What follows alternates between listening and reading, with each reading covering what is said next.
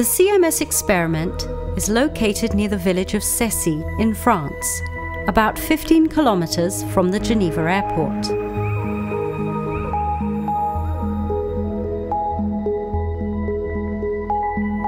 The complete detector will be assembled and tested in a surface hall over a period of about four years, starting in 2000. The assembly starts with the construction of a so-called Ferris wheel structure, used to build the steel rings that form the skeleton of the 12,500 ton detector.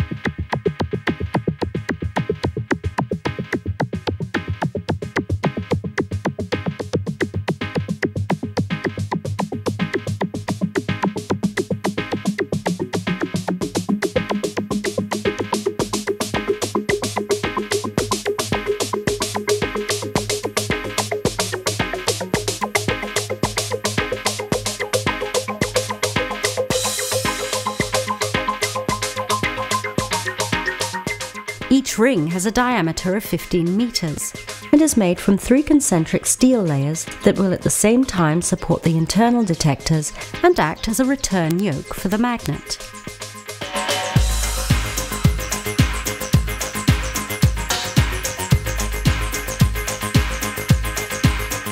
When a ring is assembled, it is released from the Ferris wheel and moved further away into the hall, sliding on air cushions mounted under the supporting feet.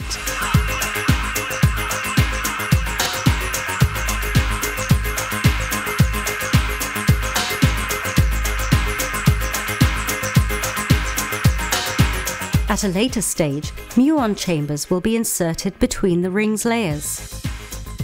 There are five of these rings that support the central part of CMS, called the barrel.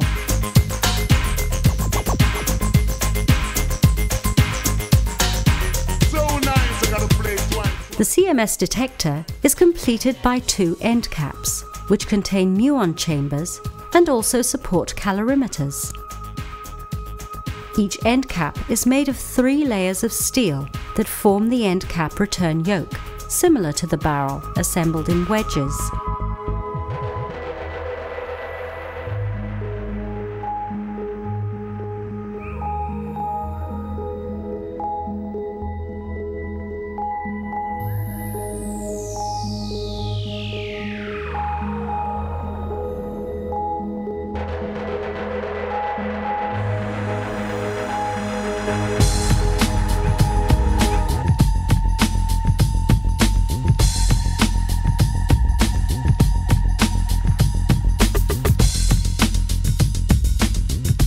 The layers are joined together, separated by steel rings.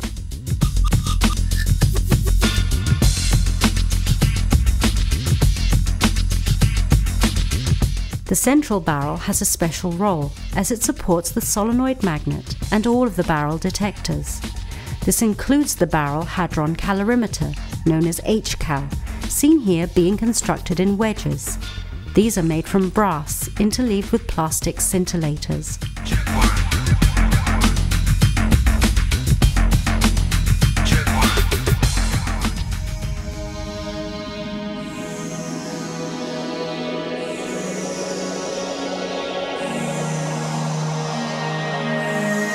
The first part of the HCAL end cap is assembled in wedges on a circular support plate at ground level. Its structure is similar to that of the barrel HCAL.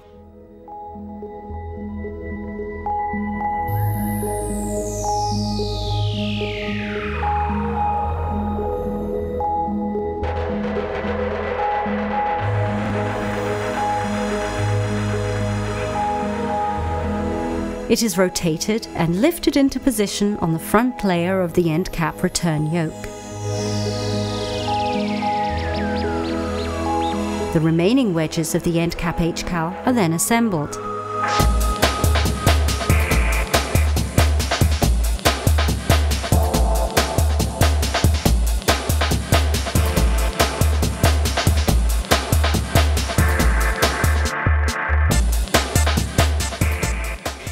Inserting the barrel HCAL, we will construct the solenoid magnet and put it in place.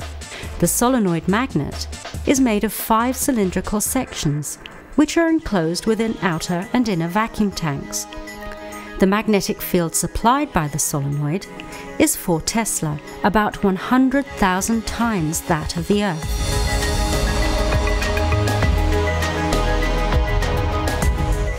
This point, the HCAL is inserted into the solenoid and will be followed by the electromagnetic calorimeter and the inner tracker.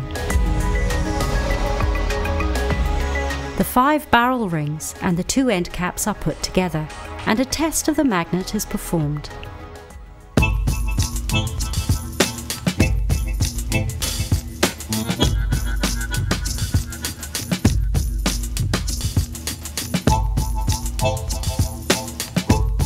The electromagnetic calorimeter, or ECAL, is constructed from crystals of lead tungstate. These crystals are arranged in supermodules in the barrel. The supermodules, each weighing about 3 tons, are inserted into the barrel HCAL.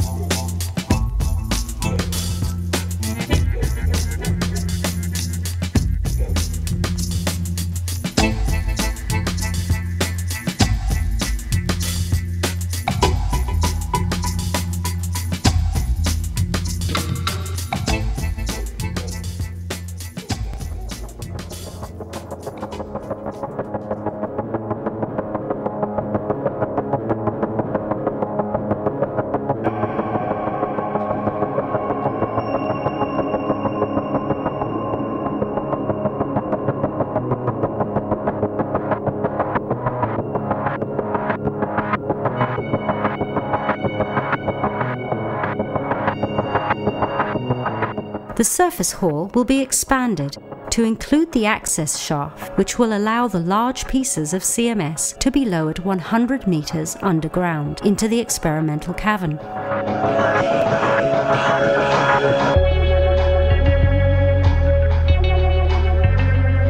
Firstly, the infrastructure must be assembled.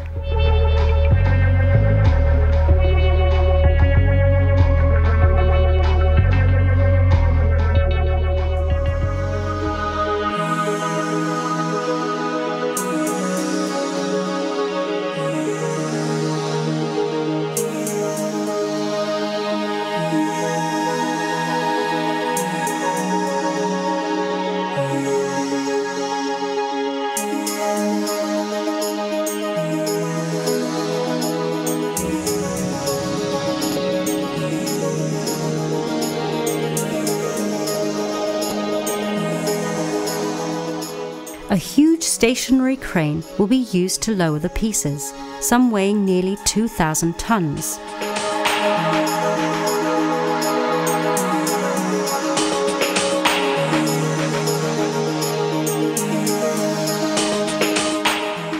The first parts to be lowered are the two forward calorimeters, made from steel embedded with wavelength shifting quartz fibers.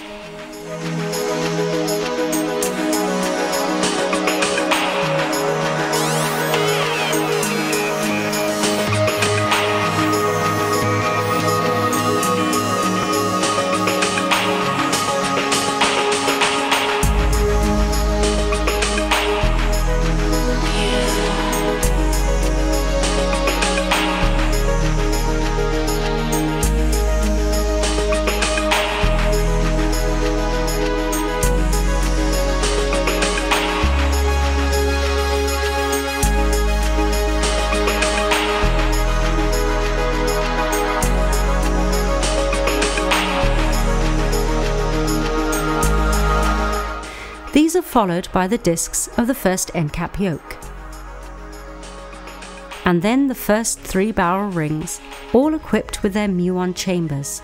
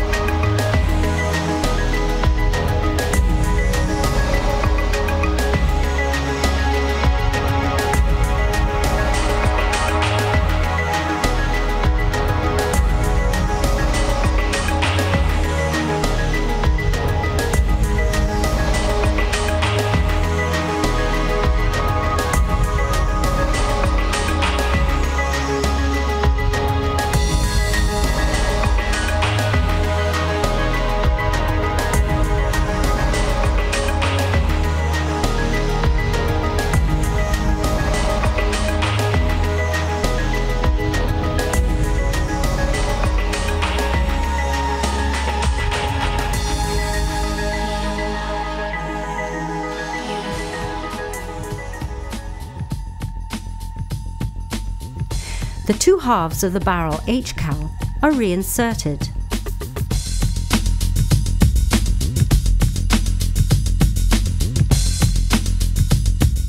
followed by the remaining ECAL supermodules.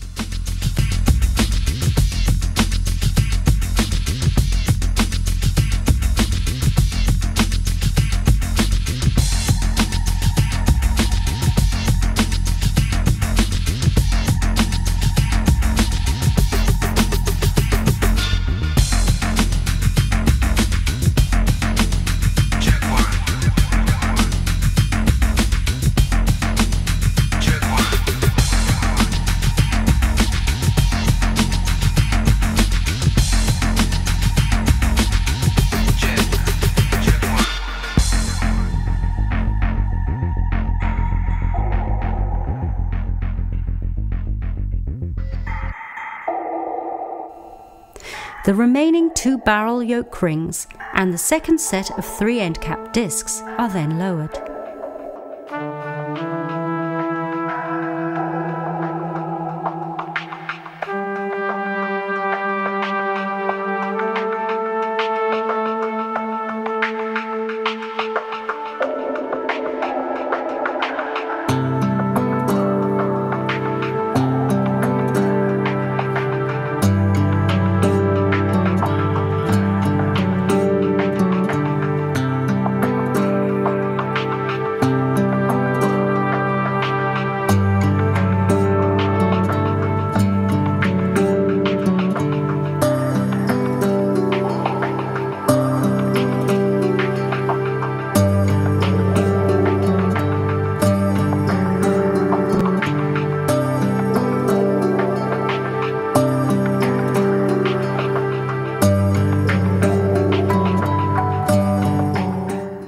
Before closing the CMS detector, the inner tracker is lowered and inserted. This device is made from many layers of silicon microstrip and pixel sensors.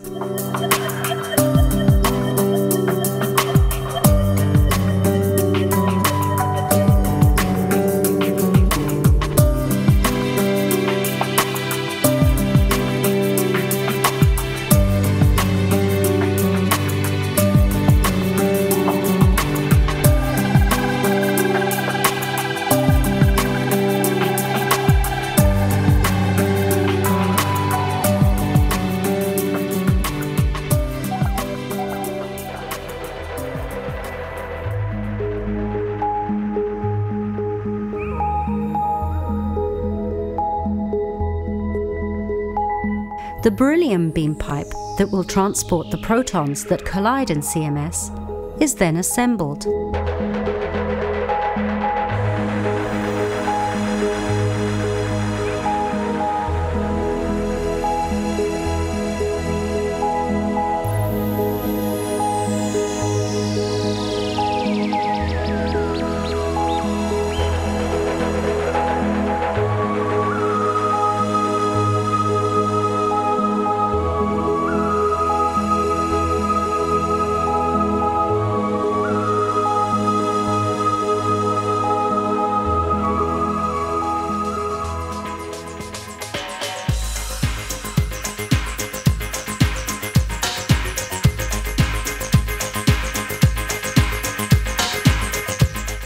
The two parts of the forward HCAL are then removed from their storage alcoves and assembled with the rest of CMS.